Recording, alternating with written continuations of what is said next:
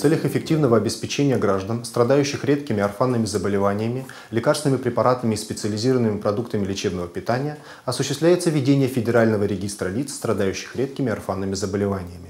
Органы государственной власти субъектов Российской Федерации осуществляют ведение регионального сегмента Федерального регистра. Обеспечение граждан осуществляется за счет средств бюджета субъектов Российской Федерации в соответствии с Федеральным законом об основах охраны здоровья граждан в Российской Федерации.